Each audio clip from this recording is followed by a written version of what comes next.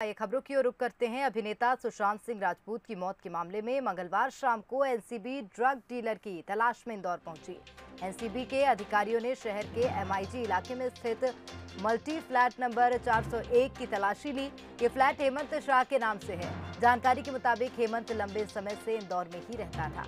कई साल पहले वो गोवा शिफ्ट हो गया था और उसने वहीं रहकर अपना साम्राज्य फैलाया था।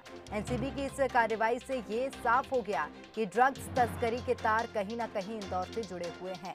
एनसीबी ने खुलासा किया था कि हेमंत शाह इंदौर का मूल निवासी है और उत्तरी गोवा के बीच पर कई साल से ड्रग तस्करी का धंधा चला रहा है।